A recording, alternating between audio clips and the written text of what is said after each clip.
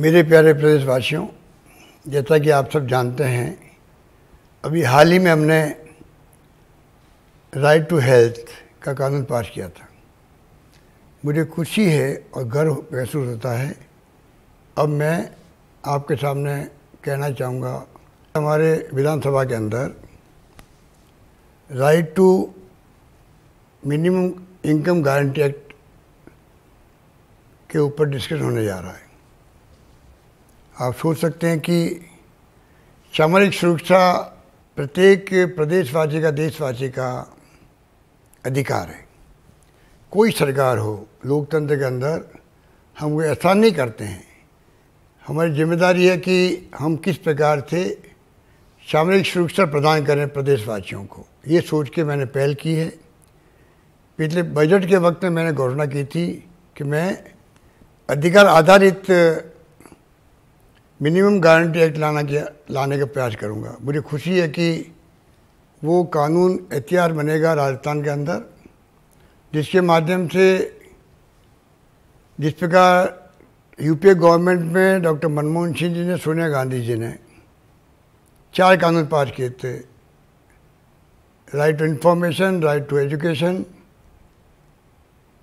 MNREGA और food security act उसी तर्ज पर ये कानून भी अधिकार देगा तमाम ग्रामीण भाइयों को एक सौ पच्चीस दिन के रोज़गार का।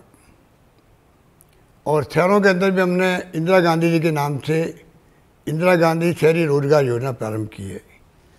एक सौ पच्चीस दिन वहाँ भी मिलेंगे काम के। जो लोग दिव्यांग है, अपंग है या जो बुज़ुर्ग हैं, जो काम नहीं भी कर सकते हैं, उनके लिए भी हम लोग मिनिमम एक हज़ार रुपये की गारंटी देने जा रहे हैं।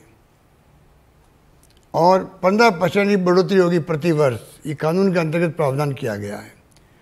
इस प्रकार मैं कह सकता हूँ कि समय आ गया कि पूरे देश के लोगों को ये सिक्योरिटी मिले। यही सोच के पिछले चुनाव में 2019 के अंदर, कांग्रेस के मैनिफेस्टो के अंदर भी न्याय योजना लाने का प्रयास किया गया था।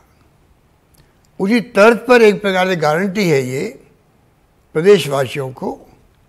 और मैं निश्चित तौर से कह सकता हूँ कि इससे लोगों को राहत मिलेगी, उनका आत्मविश्वास बढ़ेगा। इस प्रकार सामरिक सुरक्षा के क्षेत्र में राजस्थान लगातार प्रगति करता जा रहा है। कोई जमाना था कि सबसे पहले राजस्थान से ही सूचना का अधिकार कानून पास हुआ था।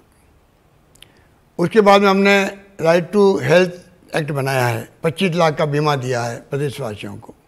उसी प्रकार से अब जो है, Mahatma Gandhi minimum income guarantee योजना की शुरुआत हो रही है।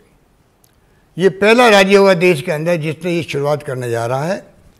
मैं प्रदेशवासियों को मुबारकबाद देना चाहूँगा कि जिस प्रकार से हमारी सोच है, जिस प्रकार हमने प्रयास किया है, गुड गवर्नेंस देने का सुशासन देने का प्रयास किया है हमने लगभग पाँच साल होने आए हैं, किसी क्षेत्र में कमी नहीं रखी हम लोगों ने। हर क्षेत्र में, पानी के अंदर, बिजली में, शिक्षा में, स्वास्थ्य में, सड़कों में, कोई कमी नहीं रखी है। उसी प्रकार से ये एक सोशल सिक्योरिटी का जो कानून है, उसकी बात मैं बार बार इसलिए करता हूँ, मैंने प्रधानमंत्री मोदी जी को भी रिक्वेस्ट की है, आपको यूपीए गवर्नमेंट की तरह जो चार कानून बने थे, उसी पैटर्न पे आपको एक पांचवा कानून राइट टू सोशल सिक्योरिटी लागू करना चाहिए देशवासियों के लिए, मेरा मानना है।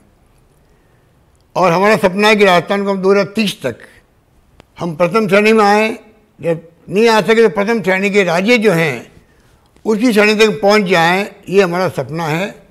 मैं उम्मीद करता हूँ प्रदेशवासियों के सहयोग से ही पूरा, अवश्य पूरा होगा। जय राजस्थान, धन्यवाद।